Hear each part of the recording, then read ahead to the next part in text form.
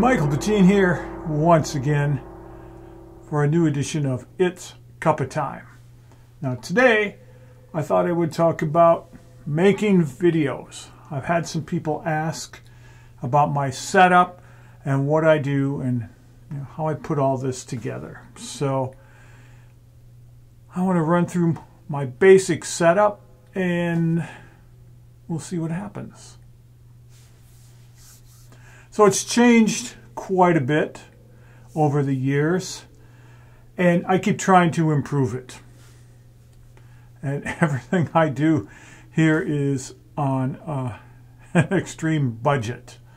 I don't have really any high priced gear and anything fancy, but as a musician who's worked for many years and had to get the most out of whatever gear I've had, I've learned how to get the most out of all the things I'm using to create these videos. When I first started, I was using a camcorder with actual videotape, and that was it. And the video was okay. The sound was kind of sketchy sometimes with the gongs, so if you go back and my old videos, uh, the sound isn't always the best because you know those little tiny mics on the camcorder are not the best. But that's all I had, and most of that stuff was put together in iMovie on my iMac at the time because that's what I had. It's free. It came with it, so I used it, and it served its purpose. It got me making quite a few videos. It got things out there and it helped me learn how to, to put together videos. So over time, like I said, I've improved it and I keep trying to improve it. And you know, next week I could get a little piece of gear or another idea and improve things even more. You know, and the week after or the month after, you know, do something else. So let's talk about kind of recent evolution of what I've been doing.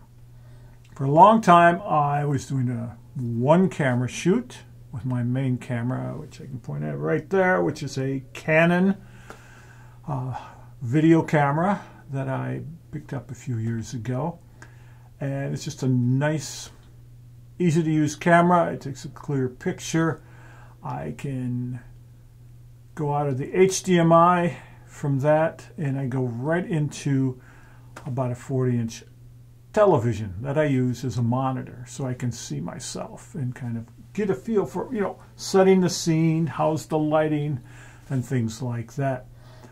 I used to just use the little tiny screen on the camcorder, and I'll tell you, that's a pain to try to set things up and also to like look at this way and try to if you're moving around or I'm playing or demonstrating things to try to know that you're still in frame. So eventually we got a new television in one of the rooms here. So the old TV got relegated to the corner. And one of the days I thought I could probably use that as a just as a video monitor. So I set it up behind the camera, plugged it in, and like I said, I can look straight ahead this way and my main camera, I can see the whole scene, which is going to over here and going to right about there. So that's great. It helps me, like I said, just stay in the main picture of the main camera. I also have a second camera that I started using a while ago. It's a Zoom Q2N 4K. And it's got a slightly fisheye lens, which I like because it can get a broader perspective here than the Canon one can. I mean, the Canon, I'd have to get so far back to, to, to really get a wide shot. So I like using both of those because I can get sort of this nice close-up shot here and uh, the very wide shot that shows a different perspective because I do have it up higher. So it's pointing down where this one is pointing more straight on. So I'm using that as my B-roll camera, as they say, for my second shots. Now that also has audio in it and it's recording the video and the audio. I don't usually use the audio track from that, but I have in the past used it because it, it takes better audio than the camcorder does. So in the past, I was using the Q2N for audio. But then I've changed things some since then. And let's look at it just a couple different ways I was doing audio. And then you can even go back in some of my videos six months or a year ago, and hopefully you notice an improvement to today's videos. Like when I started with the new black logo as opposed to the, the blue logo. So for a long time, especially for something like this, which is mainly just talking, I was using a little lavalier mic here. Just clipped onto my shirt. Now you can see it against the gong. Just a nice little lavalier, very inexpensive. Uh, I think I paid $30 for this on Amazon. And I would plug this directly into my camcorder and it's a it's a great little mic. It, it, really is. I'm surprised at the quality. And I used this for two or three years as my main video mic, especially for talking. Now, a couple of problems with this mic are that once you start playing gongs, it just distorts right through this mic terribly. So that doesn't work so well. If I'm playing a gong and I'm right up by it like this, yeah, you're just going to get distortion because the the gongs overpower the mic. Another problem have sometimes is rustling like the shirt or if I'm talking like this and my hand brushes against it.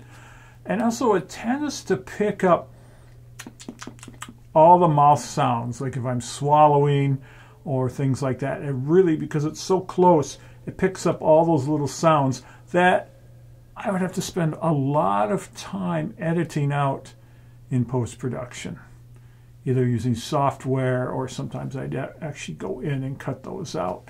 And uh, let me tell you, that's a pain in the butt to do something like that. So those are some of the problems with a little lavalier like this. And even a high quality lavalier is still going to have those same problems because it's just the nature of the mic. But it's a great little mic. I'm not using it for this video, but I used it for many, many years and it was great. So then in post-production, putting together a video, I would have the audio from this as the audio track on the camcorder. And then I would also have if I was using the second camera, I'd have the audio from the Zoom. And I did that many times because the Zoom recorded the gong so much better, but it didn't pick up the voice as well uh, as I would like. So I'd have to go in and edit and balance things, and it was a lot of work. When I, going back just a, uh, a couple of years, yeah, probably about two years or so. Really, when when this whole cuppa time thing I put together, it used to take me approximately two whole days to make one video. I would shoot on one day, usually a Wednesday, and to set it all up and get everything going and that often took me five, six hours just to shoot like an hour long video.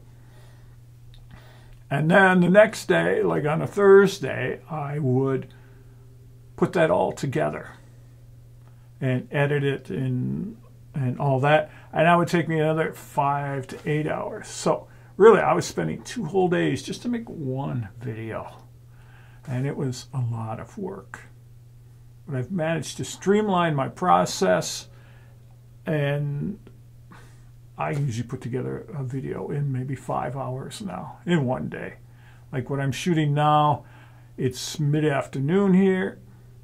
I'll edit it tonight and have it done. Now I can load it up to YouTube for whenever it's going to be scheduled.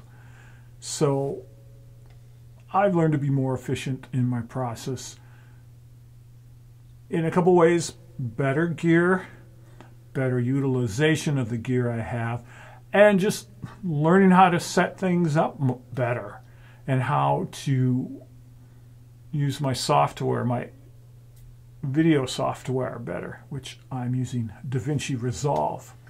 I used iMovie at first, then I used Final Cut Pro for a while, but I always found Final Cut Pro, I never got the handle on it I wanted. I always wanted software, video software, that worked like audio software.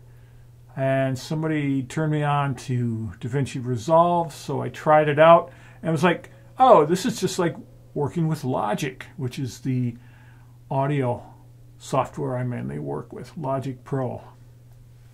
So that really changed things for me because it, it was more intuitive. And again, it was very much like working with audio. And DaVinci Resolve does have a really great audio program within it called Fairlight. So it's, it's really nice to work with. But we're getting ahead of things. Let's look at my setup here. So like I said, for a long time I used the little lavalier mic for a lot but I stopped using that a few months ago because I came up with a better solution. But let's talk about what I was doing before I get to the, the current setup.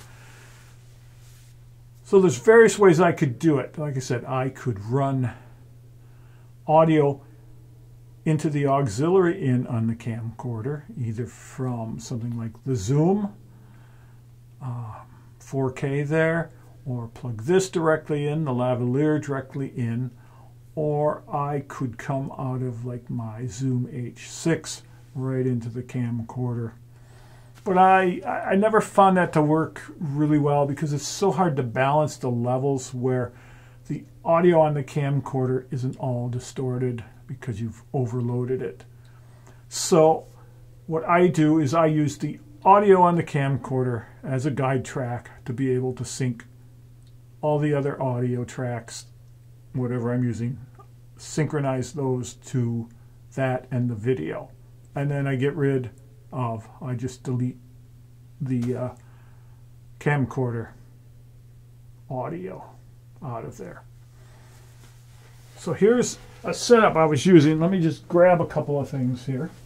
For a long time, I would, I was having the microphones way over here, either just in front of the camera or just past the camera. And for a lot of things I was doing, let's get those here where we can see them. There we go. Get them against the other gong. It's easier to see, I think. There. For a long time, I was using uh, large condenser microphones. My SE 4400s. They're really great. I love them. They're fantastic mics. But if I have them over here and they're recording the gongs really well and I'm talking here, the, the voice was always kind of lacking. So I was doing the three mic setup, the lavalier for my voice and the large diaphragm condensers to pick up the actual music, the sound of the gongs and stuff. And post production, it was just a lot of work. Again, I had to cut and chop and balance, and it really was a pain. As nice as these are, they, they you know, and then if I got them closer, you know, like this, then they're in the camera, and here I am trying to do a video, and you know, there's the mics. So great microphones. I love them, love them, love them. They weren't quite doing what I really needed, what I required. So, what I did, I came up with an idea because I saw uh, something on the internet, and it was this desk clamp. It's designed uh, to mount a, a, mic and maybe a, a boom or a gooseneck on your desk, like if you're doing podcasts. So if this is your desk, this is a you know, it's just a clamp like this that it goes here and there's a tightener and it locks right onto your desk. And I saw that and it's like, it was like $12. really inexpensive. I thought I could throw that up above on a beam up above here and hang a couple mics. That sounded like a great idea. So I got it, put some mics up there, and it works out great. That's what I'm using right now. I have a pair of small diaphragm condensers, my SE8 microphones, and they're right up above. They're approximately 48 inches in front of the gongs and then about seven feet up in the air. And it's a high quality microphone, so I can play the gongs, and as long as my levels are, are balanced and not too hot, I'm going to get a really nice sound. And as you can see now, I mean, they pick up my voice very well. And the quality is so much better, I think, than the little clip-on lavalier, and also they don't pick up all the the breath and mouth and all the different sounds and noises that a real close mic like the lavalier picks up. And I can, you know, I can be talking and I can turn around and you know play something and talk about it, and you can hear it. So it's a really nice setup, and I like it a lot. They're, they're great microphones. Uh, I will put links down below for all the microphones I'm talking about. But I really like the microphones from SE Electronics. I've spoken about them before on recording gong videos earlier. I think they are really amazing microphones for a real reasonable cost. A pair of the SE8s run a little over $500 for a matched stereo pair, and you get a nice stereo bar with those and a nice you know, aluminum case and everything. So it, it's a good deal, and they're high quality mics. These have the cardioid capsules, which captures sound more from directly from the front and slightly off axis, but not behind or anything.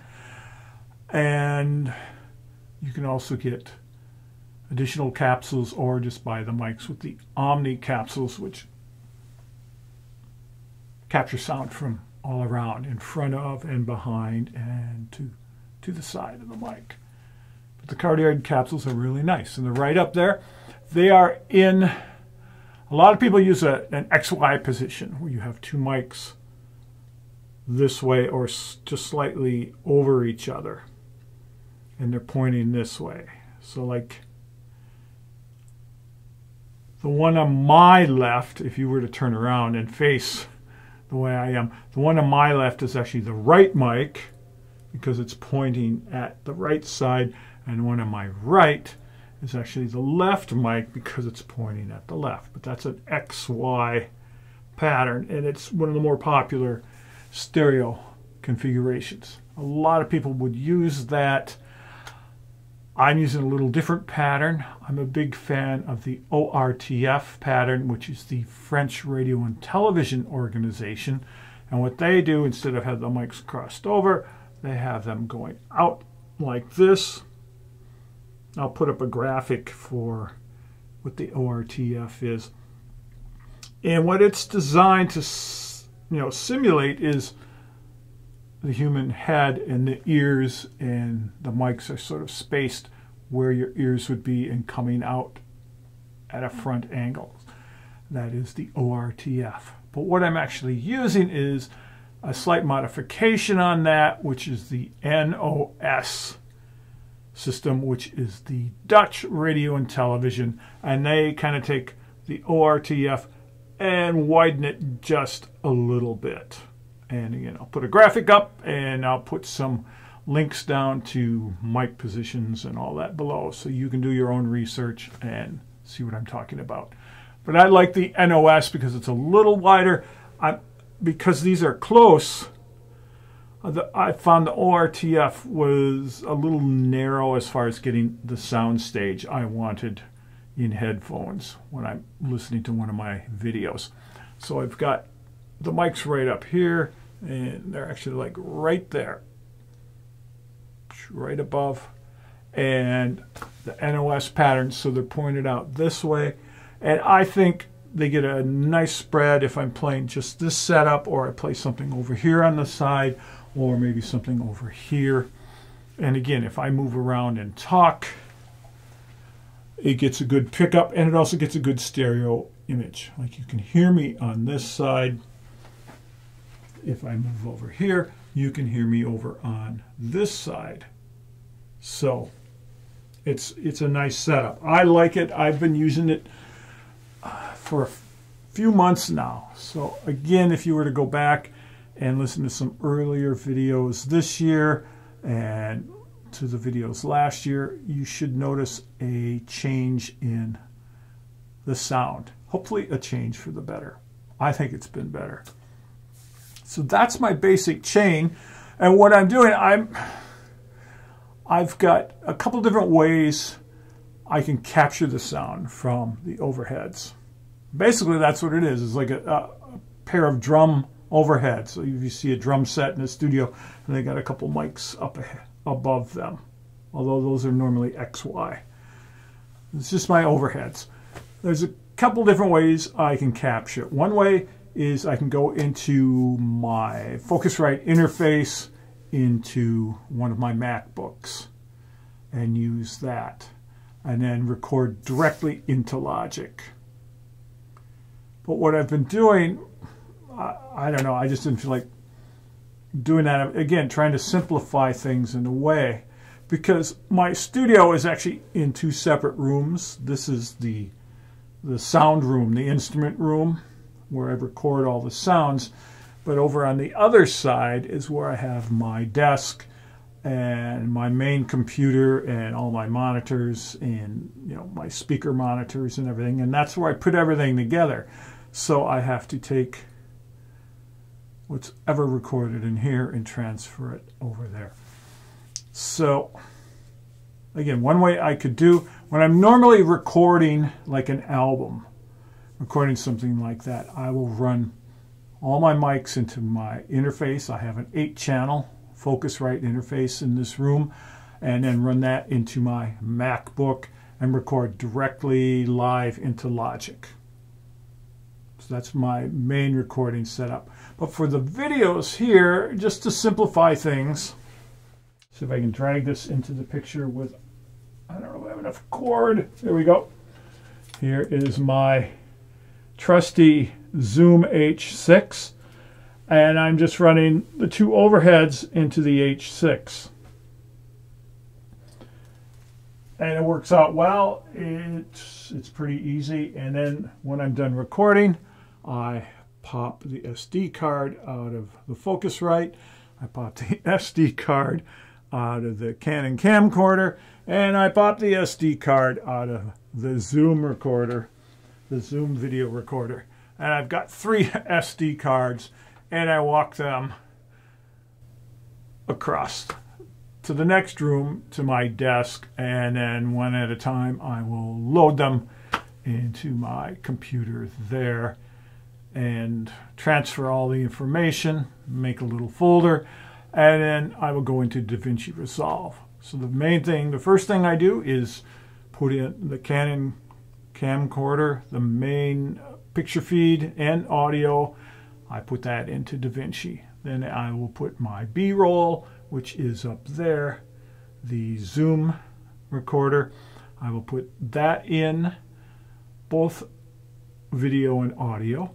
And then I will take the audio from up above and I usually put it into Logic and edit it, balance some levels. I don't normally put any effects on it, this because I want you to hear what I'm hearing in this room. So I don't use any compression. I don't use any reverb. I don't use anything else on the audio for the for the video here. The one thing I do use a lot is automation and I will put it into Logic and if there's really really quiet parts and really really loud parts I will use automation to kind of balance them out more. Bring the quiet up, bring the loud down, so I get more of a middle here.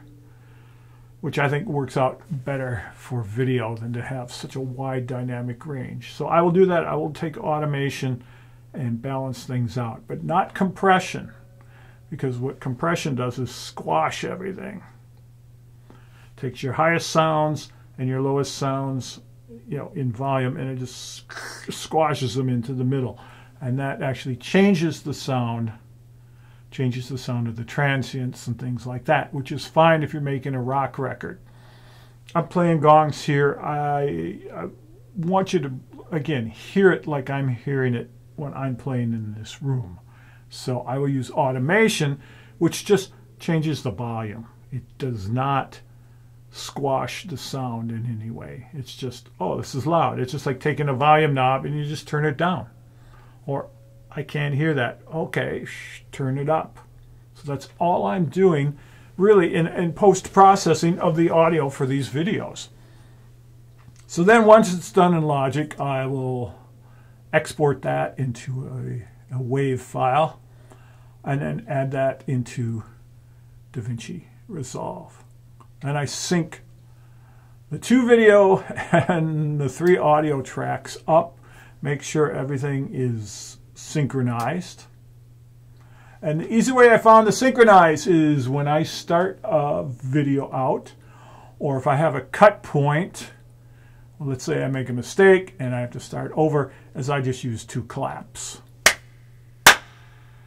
Because the claps, and we'll, maybe we'll look at this on the computer, the claps show up as big spikes in the audio waveform.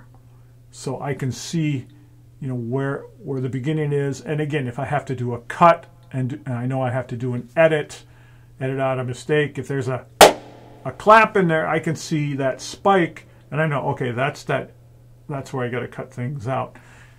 But it makes it very easy to visually align things because you look at them and you go okay here's one spike here's another spike oh now we've got them together now, DaVinci Resolve does have some auto sync functions. Uh, depending on what I'm doing, especially with the gong sometimes, uh, it doesn't like to auto sync as well as if I'm just doing dialogue or something like that. Or if I had um, pop music or something that's more rhythmic. It, it I think it is easier to find sync points.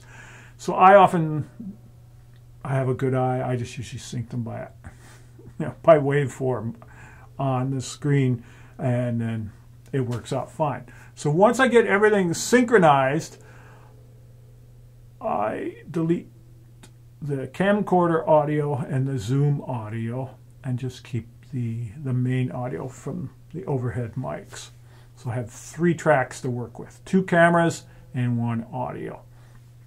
And then when I'm putting it together, uh, like the intro music and the outro music and stuff. I'll add add all those in there as additional audio tracks, and it works out really well, and I like it. So that's my main setup in here. I should probably talk about the lights. I use basically two overhead lights. There's one over here and one over here. And I have one light down here, a floor light to kind of light up like these guys in the back here and anything else so that hopefully I get, get sort of a, a nice dynamic with the lighting. Now because I don't have a real tall ceiling here, it's hard to get like an overhead light like they talk about. Well, you need one to kind of come in from this way and all that. Uh, I'm doing the best I can. So I've just got two lights up here and one down here and they're all easily movable but I think the picture looks pretty good like this so they pretty much stay where they are. One thing I've found for all of this is just go on YouTube. You can learn so much about how to make a video on YouTube. There are some really great websites and depending on whatever software you use, if you use iMovie, uh, what is it, Adobe Premiere, if you use um, Final Cut Pro for Apple, if you use DaVinci Resolve, which is both Apple and Windows. Um, somebody's, you know, there's probably multiple channels on each of those softwares with how to use it. from beginner to advanced. That's what I did. DaVinci Resolve, okay, boom. Go online, type it up. There's many channels of really expert guys and gals talking about how to use DaVinci Resolve. Same thing with audio, like Logic or whatever Audio DAW, as we've talked about before, a digital audio workstation, which is just your audio software. How to use that, how to work with that with your sound, and lighting, how to how to how to light things up, and sound, how to mic things up. So there's we live in such an amazing time because we have the internet, and you know, yeah, there's a lot of cat videos and there's a lot of you know weird stuff out there and that but there is so much good information. And youtube is like going to school and so much of it is free. And if you want to go deeper many of the people who have youtube channels also have expanded courses that you can pay for and many of them are very reasonable. But go on youtube look up lighting. How do i how do i light a youtube video or a blog video or something like that, or you know TikTok or whatever channel you're on. Now, how do I light a video? That's all I did, and I, am not a lighting person. I, I'm a music person, so I went on there and okay, ah, I can do this and this and this, and then you know, okay, I have limitations with my room. Uh, what can I do there? So I played with it and I don't know. I like to look at my videos. Let me know if you do or don't, and you know, maybe I'll get better lights down the road. But these seem to be doing a decent job right now. So do that. Go on YouTube, look up lighting, look up um, how to set up microphones for like a video. If you you know different things and if you're just doing a talking video, you know, how to do all that sort of stuff, because that's different if you're doing more of an interview sort of video versus playing instruments. And, you know, look up lighting, look up audio, look up all the software and how to use that to put it all together. So that's pretty much for this room. Uh, you know, I've got some dark curtains behind me, so you know, I have a nice background not much else, you know, other than th this is the room, and it has a, a fairly dry sound. Now, the only sort of reverb you hear are the gongs here in response to my clapping, but it's a fairly dry room, which I have said in previous videos I really like because you can't take reverb out of a recording. Well, you can now. I do have D-Reverb software but sometimes uh, depending on how the actual audio is it's you know you could uh, you can take it out but it's you might have artifacts or something but that's a whole nother story. But anyway it's much easier to for me for what I do to record in a drive room and then add reverb later if I need to. Okay so thanks for watching this half of the video we will take a look at the other part of the studio and how I put everything together.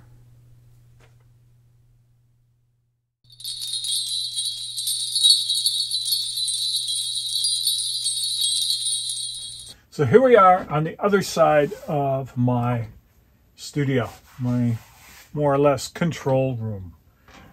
I've got my M1 MacBook here I've got my two channel audio interface here, my audio monitors, and two extra video monitors. So how I have them set up, I've got, here's Logic Pro with the two audio tracks that I recorded earlier in the other room. And then here is DaVinci Resolve, where I've loaded all the audio and video tracks already. So over here, I've got two channels, left and right. All I did was look through it to make sure the levels were good. I panned each channel far left and far right. And I did have a couple of hot spots, like right here where I was walking around and I was right under the microphones talking loud enough that I got a little distortion there, a little hot spot. So I came in with automation here and brought the levels down and then brought it back up. There were two spots like that. So I corrected that, brought it down so it's not such a hot spot. And that's pretty much all I did with the audio. And then I bounced it into one stereo file, brought that over into my files here, and then loaded it into DaVinci Resolve. So we can see I've got my B-roll audio or video here. This is the wide angle camera. And then I have, let's get a better picture here. There we go. Then I have my main camera here. And here is the audio for the main camera. This is the audio for the second camera. And then this is the mixed audio from Logic Pro. So I brought them in. You can kind of see these little lines here. Those are my hand claps and synchronized everything and then these two are muted. I'll eventually delete them. But that's that's basically what I do. And sometimes, depending on how things go, I might use the second audio from the, the Zoom video camera just because maybe picks up something differently. So I have been known to use that for the most part, I just go in and delete. And let's see, we'll take this one out. I will just move this guy up. Of have to resync it a little bit, but and then get rid of this guy. So now I have one audio track and two video tracks to work with.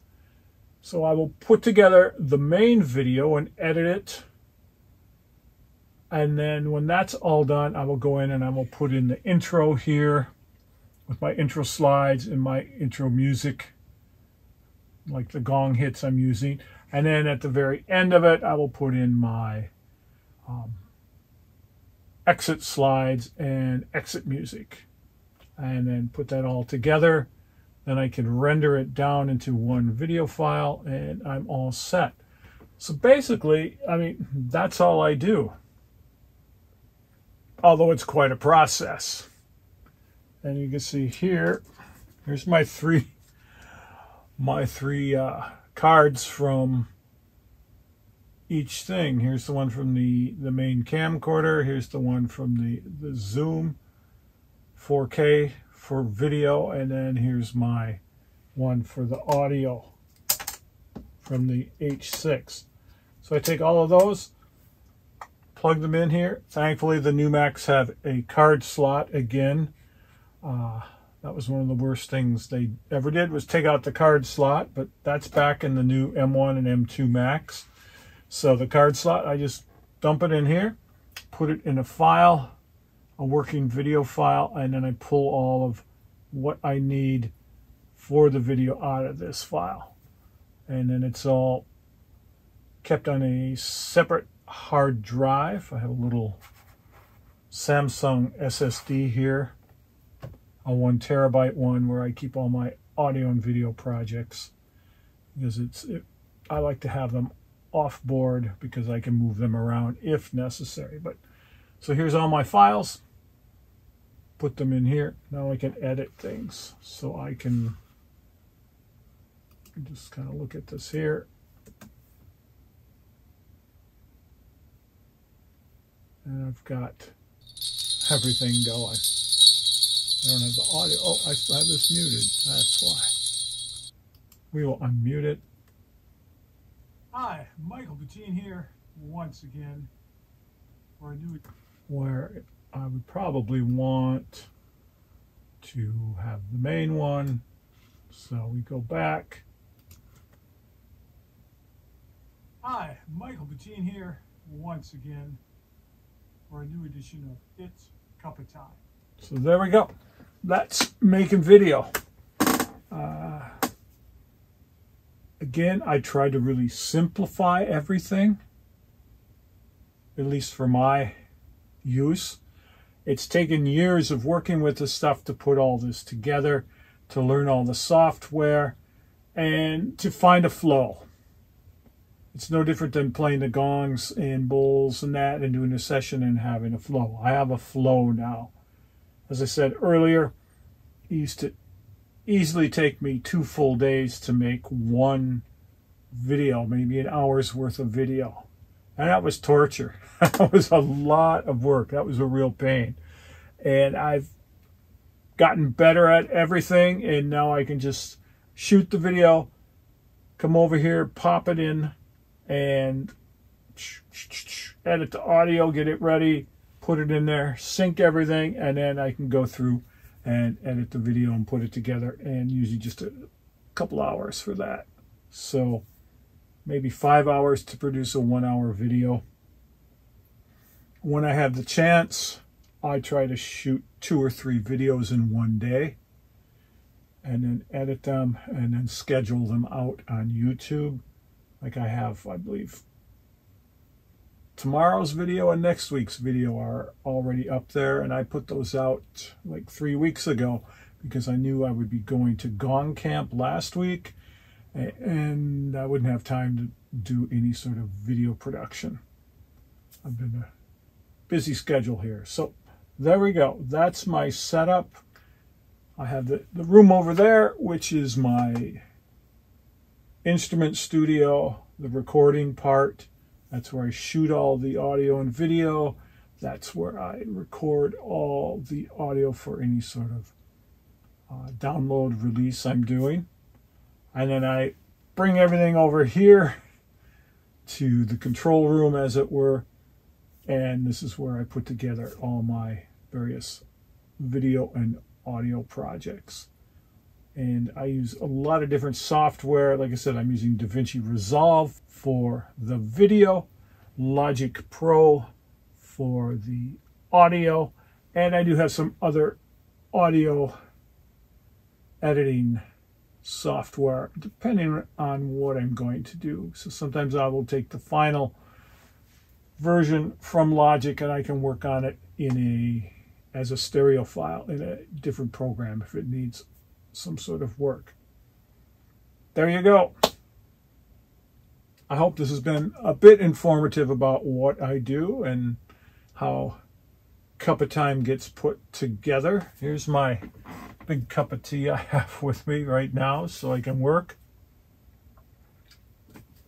I don't have to keep running upstairs to get more tea, so there we go.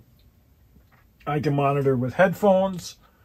I can monitor with my Kali Audio speakers here, which are really great. Uh, it's a nice little setup. Thanks a lot. I hope this has been informative and just giving you a little look into my world. As always, questions and comments are welcome. And hit that subscribe button if you haven't already.